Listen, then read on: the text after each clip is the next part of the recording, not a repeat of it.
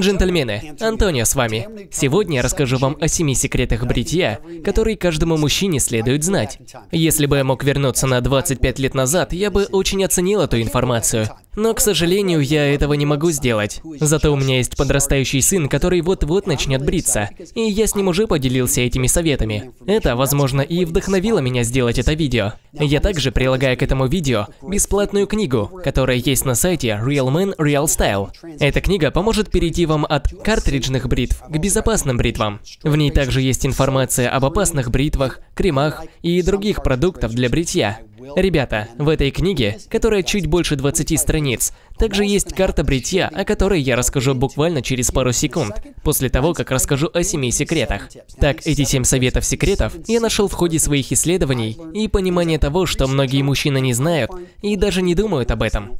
Так что, надеюсь, вы научитесь чему-то новому, а также если вы знаете какой-нибудь секрет, о котором я не упомянул, будет здорово, если вы им поделитесь в комментариях под видео. Секрет номер один. Вырабатывайте привычку. Заметьте, я не сказал «следуйте привычке». Лично я, когда мне было 14, я попал под влияние привычки. Я понятия не имел, что я делаю, я просто купил крем для бритья, одноразовую бритву. Я точно не понял, что делать. Я водил бритвой против роста волос и старался разобраться, что да как. Так что, ребята, вам надо выработать привычку. Поизучайте, скачайте книгу, зайдите на различные форумы. Узнайте о различных видах бритв и кремов и прочих фишек, которые позволят вам бриться без проблем. Ребята, мы все различаемся. У нас у каждого разная кожа на лице. Щетина отличается толщиной, как она растет, ее количеством. Так что разрабатывайте свой порядок и привычку. Это то, что вы будете делать день за днем. Это понадобится для того, чтобы начать экспериментировать. Когда вы уже не первый раз бреетесь, и вы уже на автомате это делаете, тогда наступает момент, когда вы можете начать пробовать различные виды кремов. Также пробовать масла перед бритьем, испытывать различные лезвия. Тогда, изменяя всего лишь один фактор, вы можете приблизиться к идеальному результату. Секрет номер два. Подготавливайте ваше лицо тщательно. Это значит размягчить щетину. Самый простой способ – это бриться после того, как выходишь из душа. Потому что когда ты принимаешь теплый душ, то вода начинает смягчать волосы на лице. Если нет, то можете попробовать прикладывать горячее полотенце на лицо на пару минут. Проблема, которая относится ко всем, это очень мало времени по утрам, чтобы собраться. Вы можете попробовать использовать крем для бритья. Просто нанесите его на лицо, потом почистите зубы или сделайте что-либо еще. Дайте немного времени щетине размякнуть и уже потом брейтесь. Ребята, подготовка – это ключ к успешному бритью. Секрет номер три. Больше лезвий не означает лучшее бритье. У меня тут есть картриджная бритва, я ее тестировал, у нее 6 лезвий. И могу сказать, что это не дало мне никакого достойного результата. Она пропускает места и очень громоздкая, не подходит для меня.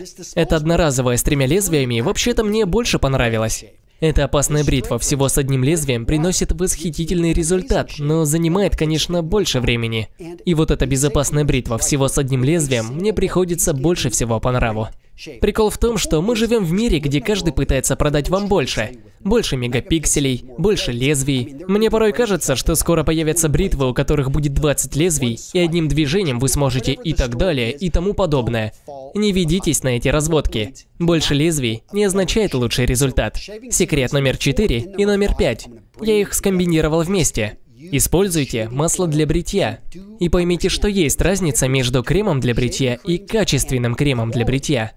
Итак, масло. Если вы не знакомы с этим, то, возможно, пора попробовать. Эта штука восхитительная, особенно если у вас есть раздражение после бритья.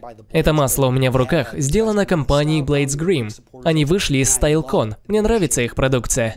Итак, крем для бритья. Многие из вас пользуются такими кремами под давлением.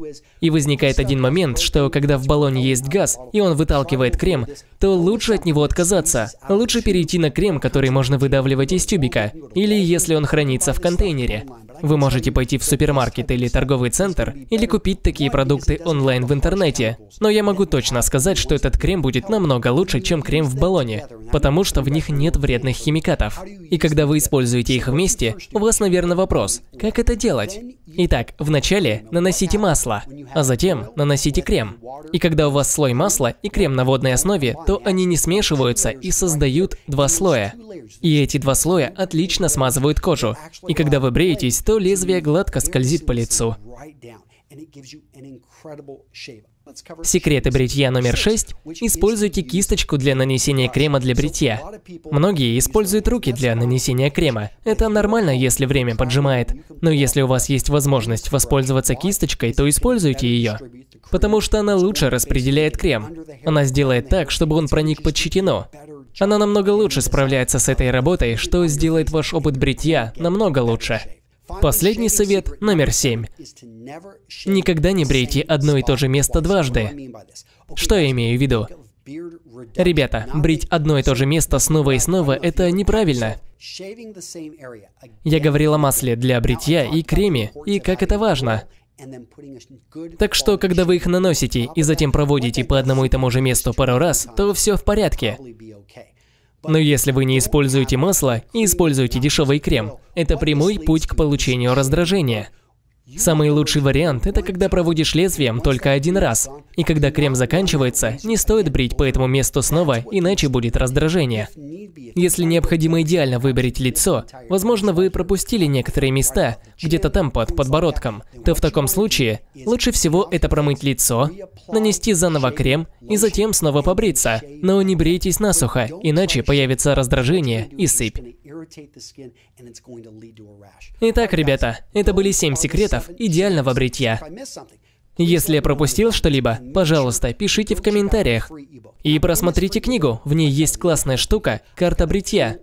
Вы ее сможете скачать, распечатать и делать с ней все что угодно. Эта карта помогает разобраться с тем, как растет щетина на вашем лице и как лучше всего ее брить. Многие никогда такого не видели, так что я думаю, вы можете попробовать посмотреть на эту карту и почитать книгу. И тогда сможете точно добиться самого лучшего эффекта от бритья.